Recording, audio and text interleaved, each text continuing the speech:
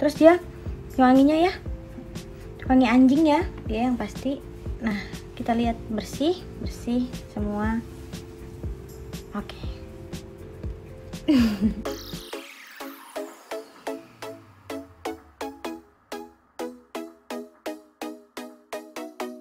Kabar terbaru nampaknya datang dari Brisia Jodi. Jebolan Indonesia Idol ini kali ini mengaku sepi manggung, bahkan tak malu-malu dan membeberkan kini dirinya jualan baju bekas dan juga jualan teh.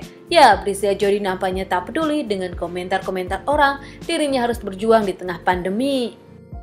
Biasa manggung bahkan dirinya bikin cover lagu yang diposting di kontennya, kali ini Brisia Jodi menyebutkan dunia panggung tarik suara kini memang tak bisa seeksis dulu. Brisia Jodi masih terima endorse di sosial media, masih menjadi brand ambassador beberapa produk, kini dirinya lebih produktif lagi dengan cara berjualan. Terima kasih kakak Jodi, kamu selalu jadi anak yang baik. amin You're the best. Jangan dengarkan apa kata orang. nggak pernah absen ya nggak pernah absen ya aku sini ya iya, pokoknya pokoknya the best deh.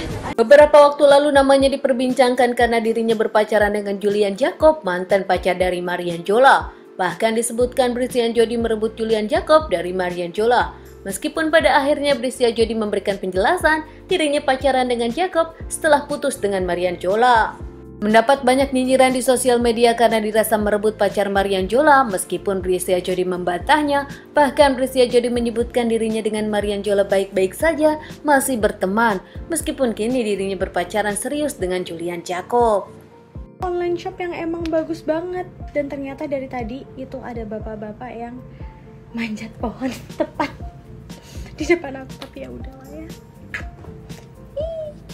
Nama Brisia Jodi memang dikenal karena prestasinya setelah dirinya masuk Indonesian Idol, suaranya pun tak bisa diragukan lagi. Bahkan dirinya pun pernah menggelar konser yang dihadiri Arsi Widianto dan juga Rosa di dalamnya. Meski dinyinyir terkait masalah percintaannya dengan Julian Jacob, namun ternyata Brisia Jodi punya banyak penggemar karena prestasinya di bidang telik suara.